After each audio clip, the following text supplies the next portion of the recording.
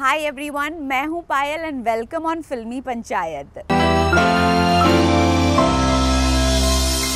Guys आज मैं बहुत एक्साइटेड हूँ बिकॉज़ uh, मैं घर पे मूवीज़ देख के बहुत ही पक गई थी। सो so, मैंने डिसाइड किया कि आज तो मैं थिएटर में जाके मूवी देखूँगी। And well I saw the promo of Ram Prasad ki Tehrvi and trust me this movie is really beautiful it's a very very sweet film when I saw the promo, the promo looked very interesting. There are some uh, very big actors like Nasruddin Shah, Supriya Pathak, Vinay Pathak, uh, Konkana Sen Sharma, Vikrant Messi and lot of other interesting characters. तो promo तो बहुत interesting लग रहा था so I decided I am going to the theatre to watch this movie and to my surprise पूरे theatre में मैं और और एक इंसान था। मुझे लगा मेरे लिए प्राइवेट स्क्रीनिंग हो रही है। I mean probably I was the only one in the theatre but anyways still it was a wonderful experience because movie बहुत ही अच्छी है। ऑनेस्टली मुझे बहुत मज़ा आया। पहले तो मैं थोड़ा डर रही थी कि यार theatre you know it's a close circuit and you know it's going to be unsafe but honestly बिल्कुल अनसेफ नहीं है। उन्होंने सारे सेफ्टी मेजर्स लिए हैं और थिएटर में देखने का मज़ा कुछ और ही है। राम प्रसाद की तेरवी। The title itself suggest that there is a death that has happen yes Ram Prasad गुजर जाते हैं।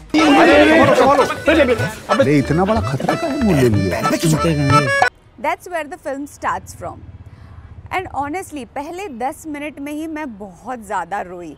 You know I am very sensitive मैं डेथ सीन देख नहीं पाती हूँ तो मुझे तो बहुत ही रोना आ गया। और फिर कहानी शुरू होती है जब राम प्रसाद की पूरी पलटन आ जाती है। राम प्रसाद को चार बेटे हैं और दो बेटियाँ हैं। हम तो सबसे पहले आए थे। हाँ हाँ पाँच सात मिनट पहले आ गए हुए लाइए ये हम लेके जाते और सोचिए कि यहाँ पे घर में डेथ हुई है और पूरी फैमिली आ जाती है। चाचा चाची मामा काका काकी छोटे बच्चे 20-25 लोग इकट्ठे हो जाते हैं। वेल स्टार्टिंग में तो there is a lot of mourning happening and the whole procession of the after death scene happens the family gets together uh, रोना धोना uh, कुछ शिकायतें कुछ कहीं पे गॉसिप चल रही है और uh, सब एक दूसरे से मिल रहे हैं बहुत दिनों बाद। है तुमसे कराऊँगा। बच्चों को कहीं ना कहीं दुख भी होता है दैट हम अपने पिता को देख नहीं पाए because sometimes we get so busy with our life that you know we don't get time to meet our parents we are very busy in our own life और फिर जब ऐसा कुछ होता है तो सब इकट्ठा हो जाते हैं। It's a very sensitive drama with lot of family values and a pinch of comedy as well Supriya Pathak playing the mother has done a brilliant job. I think it was an absolute delight to watch her. वो आपको रुलाती भी है और हंसाती भी है also mentioning Seema Pahwa I think it's her directorial debut and uh, she has made a very very beautiful film.